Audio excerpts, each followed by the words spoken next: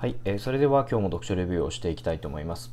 えー、このチャンネルでは私がほぼ毎日、えー、1日1冊ですね本を読んでその内容をこうして、えー、レビューをしていくという内容になっていますで、えレビューすることが多いのは、まあ、ビジネス書であったりとか、え心理学についての本また最近はお金とか投資についての、え本もよくレビューをしてますでその他は、まあえー、習慣化についてだったりとかまたこういった英会話、まあ、英語についての、えー、内容をいくつかご紹介をしています。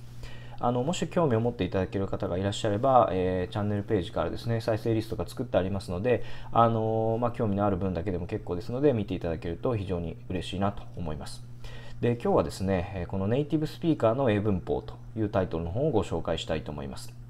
でこの本はですね、えっと、サブタイトルで英語の感覚が身につくというふうに書いてあるように、えーとまあ、メインタイトルでもですねネイティブスピーカーというふうにありますけれども、えー、まあ、英語を、えー、まあ、勉強していく、ま、使っていく時にですね、ま、よりそのネイティブの方が持っている感覚に近い、えー、感覚を、ま取り入れて、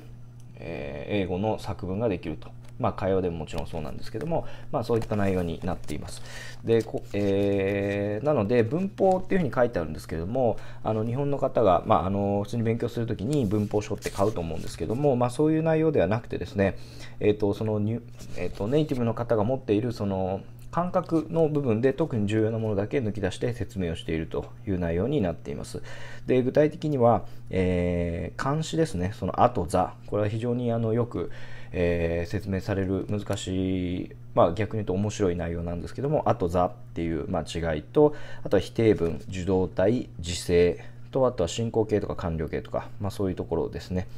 でえっ、ー、とまああのちらっと言いましたけれどもやっぱりあの読んでみて面白いなと思ったところはやっぱりその監視の使い分けですね。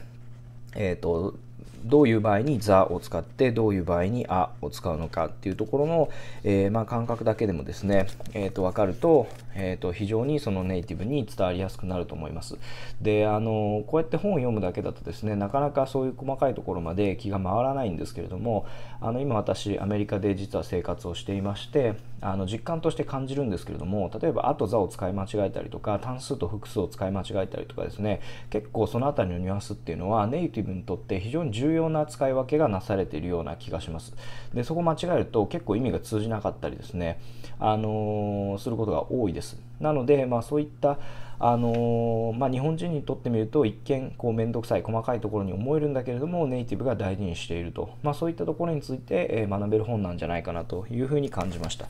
で著者の方は、えーと、ポール・マクベイさんという方と大西